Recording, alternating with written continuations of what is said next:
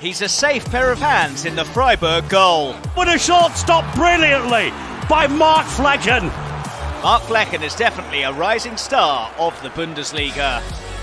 Flekken first hit the headlines in May 2018 while playing for Duisburg, when he conceded a goal while taking a drink.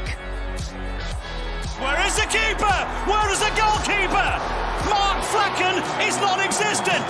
That summer, the Dutchman moved to Freiburg and has now made the breakthrough.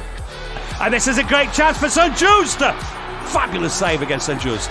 A master of one on one situations, he's conceded the fewest goals in the league so far this season. His reward, a first call up to the Netherlands national team. Mark Flekken, a rising star of the Bundesliga.